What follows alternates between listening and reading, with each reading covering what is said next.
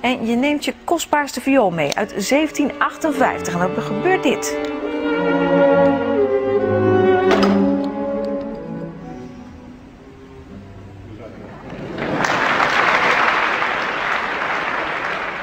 Met het troostapplaus en een altviool uit het orkest kon Jori Basmet weer verder spelen.